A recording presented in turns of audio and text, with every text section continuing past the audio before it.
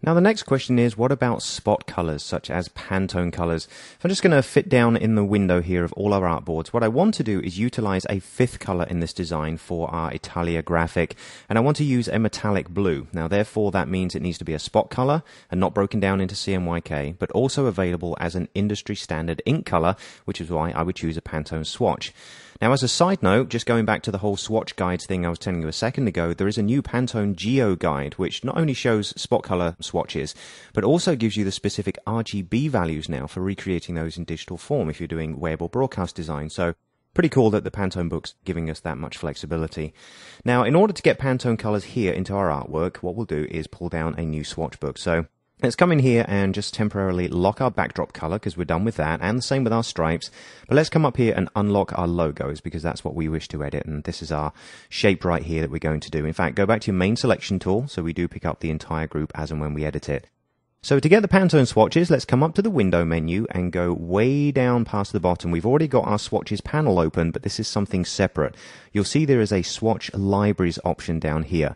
If we come over to the side, what we want to do is choose a color book. And you see there's many in here. These are all default that come with Illustrator, but in the color book section, these are the industry standard color books. And what we're going to do is go down and choose Pantone Solid Coated. All right.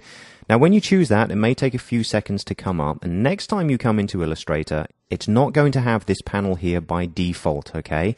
Two things you can do to get around that. You could drag this and dock it somewhere into one of your layouts and then save the workspace.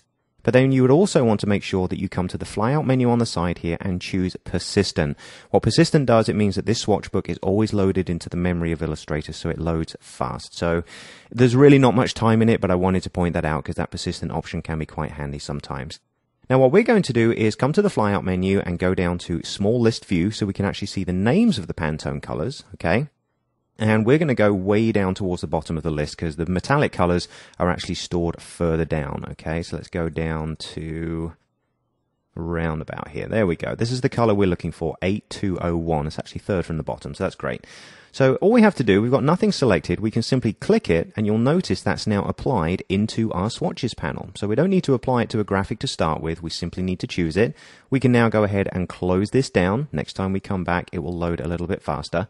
But now we can click on our Italia logo as a group and simply click on the swatch to now apply it.